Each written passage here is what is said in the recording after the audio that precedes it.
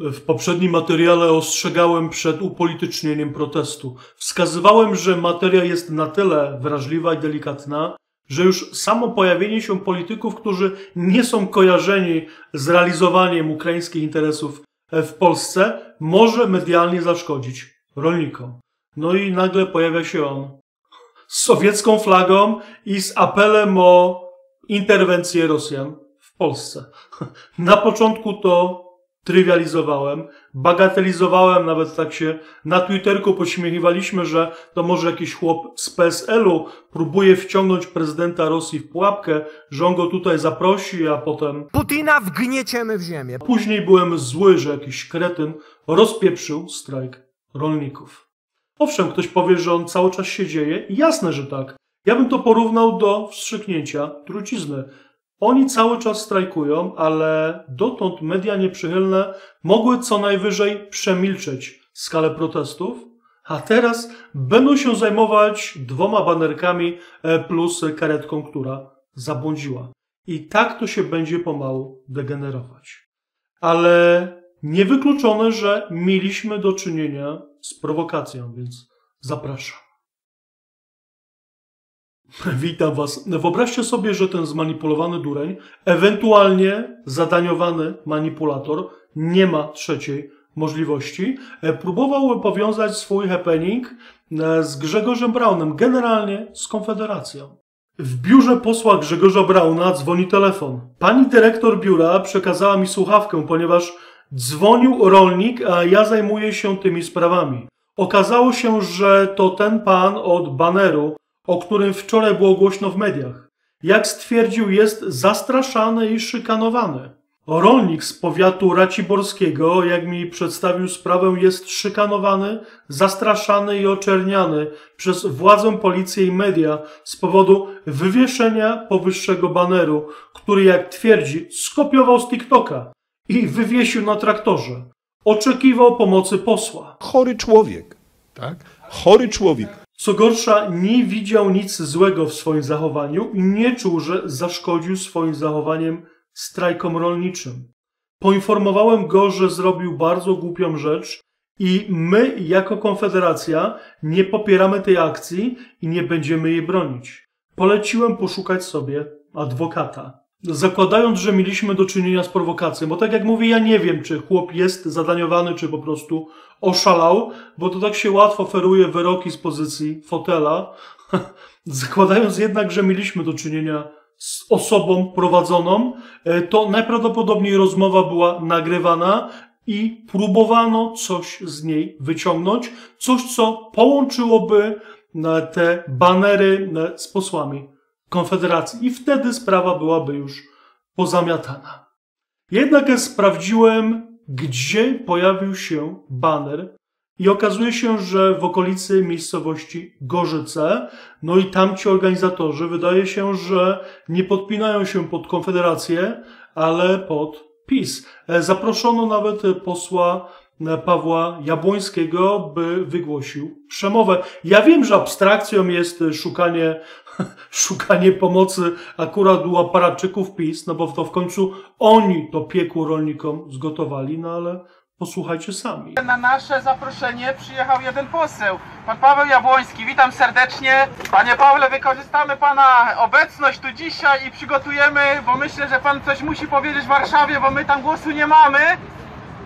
Tak więc rolnicy wyjadą i myślę, że tutaj przekażemy nasze postulaty i pan odpowiednio zainterweniuje. Ja żadnych tu przemówień długich nie chcę wygłaszać, po prostu chcę powiedzieć, że jestem tutaj dla państwa do dyspozycji.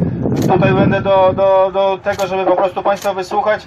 Wszystkie te wieści o tym, że tu są jakieś znaczące, bo gdzieś ktoś coś na lewo mógł oczywiście załatwić, ale że są jakieś znaczące ilości zboża w mieszalni paszczy w innych miejscach, są po prostu wieściami nieprawdziwymi ale ciągle się to głosi. Smutna prawda jest taka, że przy protestach o takiej skali niełatwo osoby zradykalizowane bądź prowadzone, które swoimi hasłami bądź działaniami popsują cały efekt medialny protestów. E, tutaj mamy przykład z Berlina, gdzie co prawda to nie jest duży baner, ale kartka w kabinie jednego z ciągników gdzie proszą Putina o e, wysłanie atomówki na Berlin. No i teraz, jakie wnioski możemy wyciągnąć? Co mogliby zmienić rolnicy, by nie dochodziło do takich incydentów? E, Po pierwsze, każdy rolnik, który bierze udział w proteście, powinien być świadomy, co można, czego nie można mówić. Tutaj wcale nie chodzi o wolność słowa, to chodzi o przekaz, o spójny przekaz protestu, wiedząc, jakie pułapki czekają. Ponieważ e, to nie chodzi o to, by zastraszyć polityków, że, żeby pokazać siłę, my tu zablokujemy, tam zablokujemy e, i politycy się ugną. To już teraz tak nie działa. To chodzi o zdobycie umysłów milczącej większości, czasami fajno Polaków, generalnie mówię, mówię z naszej perspektywy, że politycy, do polityków musi dojść, że to jest temat ważny społecznie, który może e, odcisnąć piętno podczas wyborów. Tylko to działa. Oni się nie boją e, siły grup e, zawodowych, że ktoś coś popsuje, zablokuje, bo to wszystko, te wszystkie straty pokryjemy my.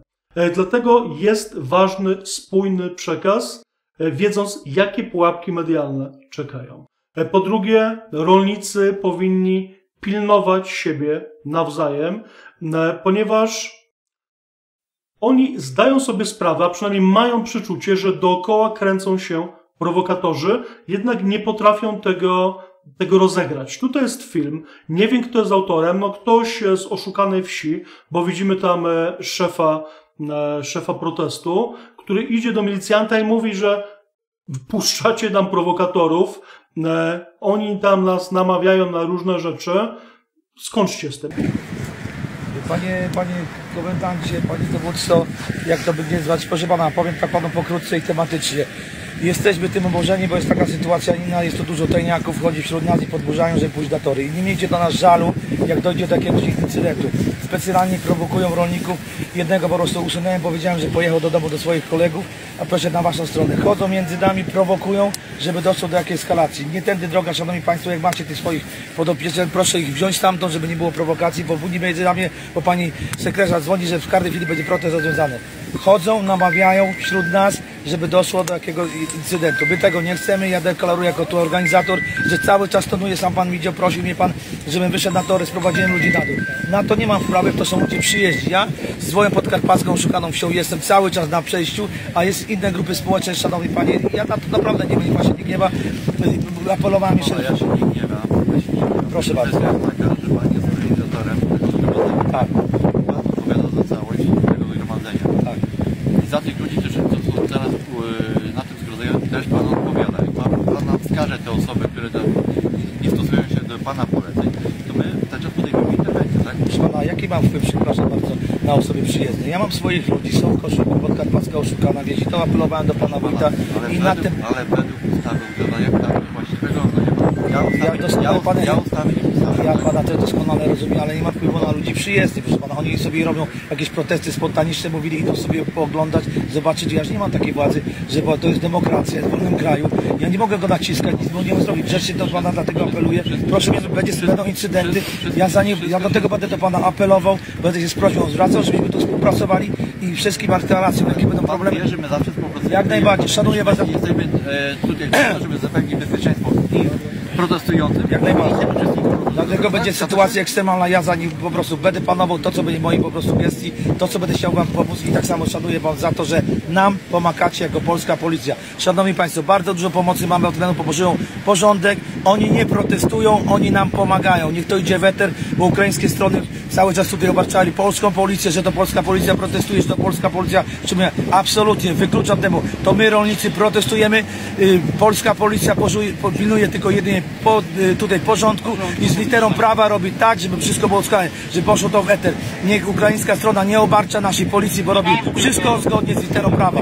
I my tu współpracujemy i robimy tak, żeby było dobrze, szanowni państwo. Mówię, nie mam do końca wpływu nad tymi, są ludzie ze Solidarności, są innej opcji. Niestety są to ludzie przyjezdni. Też jako jeden człowiek nie mogę tego wszystkiego tak zadłubić i tak załatwić. Są przyjezdni. My de facto mamy zgłoszony protest, szanowni państwo, na przejściu pieszych. I my tego się trzymamy i ja ta z nimi przebywam. Ale już grupa, ta co tu jest, tutaj chodzi z przodu, ja na nich nie mam wpływu i niestety tutaj służby porządkowe muszą zainterweniować, jeśli dojdzie do jakichś incydentów, szanowni państwo. Dziękuję serdecznie. No wiadomo, no, co zrobi zwykły stójkowy, prawda? No, no nic nie poradzi. Jedyne, co może powiedzieć, przyprowadźcie ich do nas. I to jest clue problemu. Gdyby tego durnia na dzień dobry wyciągnięto z szoferki, nagrano to i puszczono w internet, to protest rolników by się tylko wzmocnił, byliby medialnie wygrani. A tak, no niestety, ktoś zaniechał, ktoś nie widział, ktoś może po cichu przyklaskuje, nawet nie zdając sobie sprawy, co oznacza ten baner. No bo ja dziękuję za taką e, bratnią pomoc, prawda? Jakieś punktowe jeszcze e, w Europie, w Europie e, wkroczenie wojsk, no to chyba nie o to chodzi, prawda? Ale pomijając, gdyby rolnicy zareagowali, przekuliby to medialnie na sukces. Oczywiście to są tylko moje rozkminki, wy nie musicie się z nimi zgadzać, jednak ja uważam, że kto tego nie rozumie, to już przegrał. Mówię tutaj o formacjach protestu. Przy takich protestach odkładamy na bok historię, odkładamy na bok politykę, co więcej geopolitykę i mówimy w tym wypadku o gospodarce, o konsumentach, o wysokiej jakości żywności, o nierównych warunkach, wyciągamy brudy drugiej strony, ale każdy wyłom z tej narracji będzie wykorzystany przez przeciwników, przez media mainstreamowe. Tutaj zadziała się wielka tragedia. Ja na Twitterze napisałem, że ktoś, że ten kretyn rozpierdzielił protest rolników i to nie jest tak, że on się skończył, że z dnia na dzień się skończył. To bym porównał do wstrzyknięcia trucizny. Tam jeszcze e, pacjent, e, ofiara jeszcze będzie e, chodziła, ale medialnie, medialnie to jest niestety pocałunek śmierci. Trudno będzie to wszystko rozegrać, a jeżeli politycy poczują, a będzie im to na rękę, by nie iść nazwać z Brukselą bądź z lobby agro, ukraińskich agroholdingów, zobaczą, że nie ma poparcia w społeczeństwie, to oni to oleją. Gdyby zobaczyli, że Polacy stają murem, to byłoby co innego. No ale dobrze, ja jestem bardzo ciekawy, co to w ogóle tam się stało w tym traktorze, co tam temu facetowi do głowy strzeliło, czy to ktoś przyszedł z walizeczką, czy chłop po prostu jest w tak tragicznej sytuacji rodzinno-materialnej na przykład, e, że no zaczęło się grzać pod kopułką. Ale mówię, ja nie chcę ferować e, wyroków, e, zobaczymy, co będzie dalej. No i to tyle ode mnie. Jeżeli Wam mało, zapraszam Was na zakładkę wideo. Wejdźcie, sprawdźcie. Może Was coś zainteresuje, może Was coś ominęło. No i oczywiście odsyłam na kanał z giereczkami. Dziękuję wszystkim osobom, które wspierają ten kanał, a pamiętajcie, że każdy z Was jest realnym wsparciem. Najważniejsze, że jesteście. Życzę Wam miłego dnia, miłego wieczoru i pozdrawiam Was serdecznie.